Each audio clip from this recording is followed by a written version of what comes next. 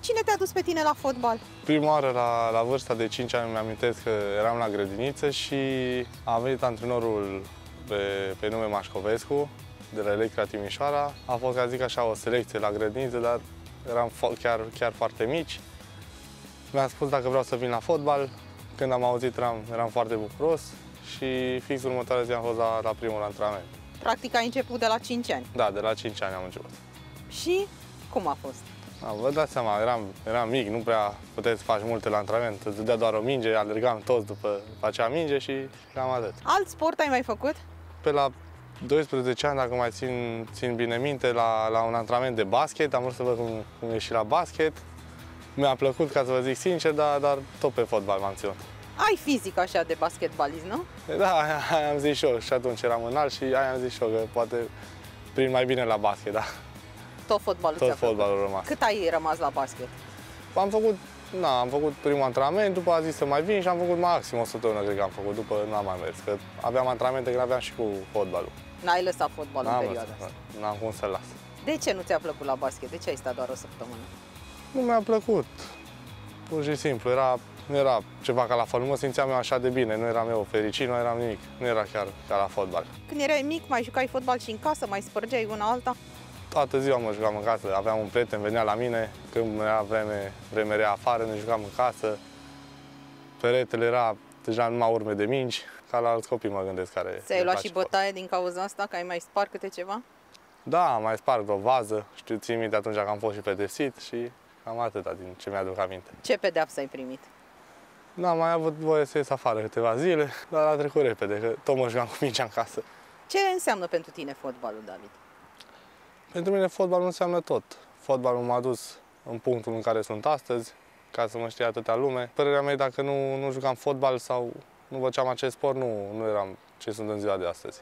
Cum, ca, cum te-ai caracterizat tu ca fotbalist? Ca și fotbalist m-aș caracteriza un fotbalist destul de, de bun, tehnic, fizic și care îi place să, să muncească foarte mult. Ce ai vrea să mai schimbi la tine? Sau să îmbunătățești? Să îmbunătățesc acum în momentul de față ar fi să descoper lucruri noi, chiar de la jucătorii care au venit sezonul acesta cu foarte multă experiență și să învăț de la ei doar lucrurile bune. De la cine? Păi ca să zic așa, cine a venit cu experiență, a venit acum Claudiu Cășeru de la Steaua, a mai venit uh, 2-3 jucători din străinătate și vreau să învăț de la fiecare. Ești dispus așa să... Da, normal, trebuie să învăț. Cum e atmosfera la UTA?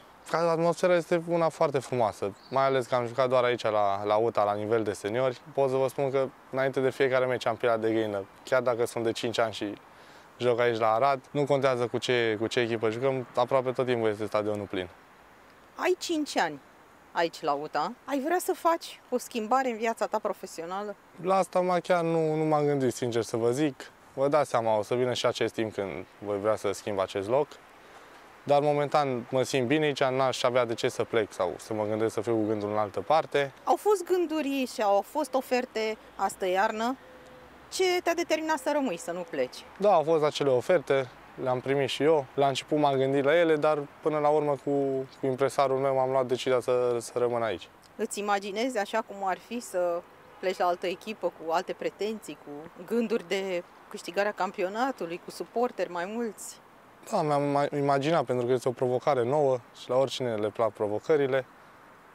Dar, cum v-am spus, m-am determinat și atmosfera de aici și stadionul și oamenii care sunt aici și care au avut grijă de mine până acum și am vrut ca, ca drept de răsplată, ca să zic așa, respect față de ei, să rămân să continui tot cu aici. Ce suporteri ți se par așa, asemănători cu cei ai Utei? Echipele care sunt și de tradiție, mă gândesc, de Liga 1. Acele care sunt FCSB, CFR, Craiova, Rapid, Petrolul care a intrat acum au Cluj. Acestea sunt echipele cu, cu cele mai frumoase galerii, ca să zic așa, sau suporteri. Când ai fost mic, la ce club ai fost în București?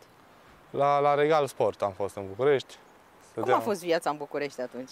A fost grea, pentru că eram chiar foarte mic, cred că aveam 15 ani, trebuia să merg singur. Era un oraș mare față de Timișoara și nu, nu a fost deloc ușor. Cu cine erai coleg atunci? Coleg, așa ca să zic, acum cine mai joacă fotbal, eram cu, cu Ovidiu Pereanu, cu, cu Radu Drăgușin și cu, cu Octavian. Octavian Popescu. Da, Octavian Popescu. Voi sunteți prieteni buni, nu? Da, și acum ne înțelegem, am ținut legătura, nu, nu s-a schimbat nimic între noi. Fiind în București, având 15 ani, te-ai mai dus așa pe câte un stadion să vezi vreun meci al vreunei echipe? Cum a fost?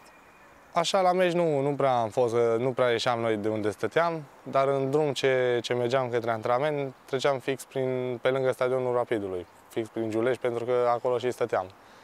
Și am trecut odată pe acolo când avea Rapid meci și atunci am auzit și de acolo atmosfera care a fost. N-am știut prima oară că e stadionul lor, am întrebat pe un coleg și el mi-a zis că aici joacă Rapid. Și ți-a plăcut? Da, așa cum am trecut pe lângă stadion, era o atmosferă frumoasă, dar pe stadion n-am fost de, niciodată să văd. În ce ligă jucau atunci? Cred că eram în Liga 3 sau a 4 dacă nu mă înșel. Din uh, străinătate, ce echipă îți place? Îmi place Manchester United pentru că și idolul meu, Cristiano Ronaldo, joacă acolo, dar mai am o echipă pe care tot timpul am apreciat-o ca și spirit de luptă, este Real Madrid, ați văzut, care a câștigat și Champions League-ul. Ce apreciezi tu la Ronaldo? Apreciez, ca să zic așa, munca pe care o depun el, tot ce, ce, ce ține legat de fotbal, sezoritatea cu care este el, este dispus la orice, mai ales la vârsta la care o are. Te vezi și tu jucând uh, fotbal până la adânci bătrânesc, cum se spune? Da, seama, orice jucător își dorește asta, ca să nu aibă nicio problemă, să fie sănătos și să joace cât mai mult fotbal. Cum e bucuria lui Ronaldo după gol? Cum ți se pare? Bucuria lui Ronaldo mi se pare un lucru foarte, foarte frumos. Mai ales că dacă și eu aș avea aceeași bucurie, ca să zic așa, m-ar motiva foarte mult să dau un gol. Pentru că să aud cum face tot stadionul când mă bucur. Cum un... face stadionul? Si, este un lucru foarte frumos și mă gândesc că este și o motivație pentru el ca să înscrie și să se bucure în acest fel. Tu cum te bucuri după gol? Până acum nu mi-am găsit chiar o bucurie personală sau ceva personal ca să mă bucur, cum, cum îmi vine. Ce obiective ai tu ca jucător? Ce-ți dorești tu în viața de fotbalist? În primul rând să fiu sănătos, să, să ajung să joc în, într-un campionat puternic din Europa. Care campionat din Europa îți place cel mai mult? Îmi place Italia și Spania, îmi place foarte mult.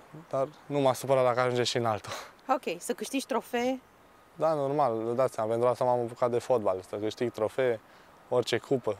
Și la noi în țară, Cupa României, anul ăsta sper să o câștigăm și să ne batem acolo sus. Vreau să te întreb, echipa națională, e un target pentru tine? Da, normal, și echipa națională, pentru că tot timpul când îmbrac tricou naționale, o îmbrac cu mândrie și vreau să reprezint naționala, mai ales că acum suntem într-o perioadă proastă și vreau ca lucrurile să se schimbe. În ce an ești născut tu?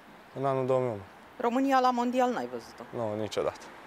Doar pe YouTube, nu? Atât. Și? Nu e dureros? Ba da, e dureros, pentru că la fiecare mondial la care au fost și care l-am văzut până acum, am văzut toate țările care au participat și chiar îmi părea rău că România nu este. Aștept să joci cu România la un turneu final? Asta vreau să zic, aștept, sper să fim noi, generația care o să ducem România la mondial și să bucurăm toată țara. Ce ar însemna asta pentru tine? Ar însemna foarte mult, nu un vis, ceva foarte mare împlinit, pentru că toată lumea așteaptă de atâția ani iar să fie România și dacă noi o să fim cei care, cei care o ducem acolo, să fie foarte frumos.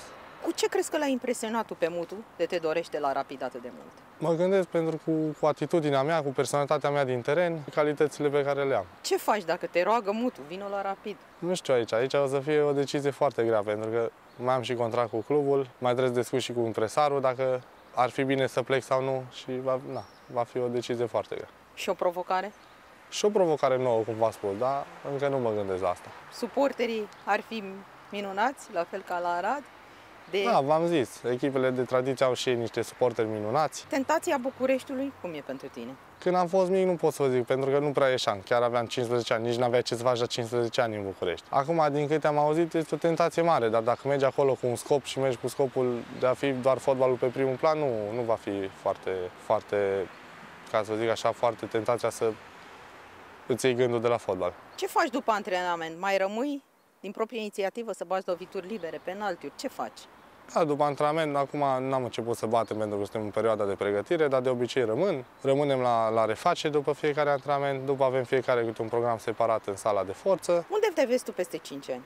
Peste 5 ani, dacă o să rămân la fel cum sunt acum modest, eu o să mă văd uh, într-un campionat, cum v-am zis, puternic, ori în Italia, ori în Spania și mă voi bate la, la câștigarea campionatului.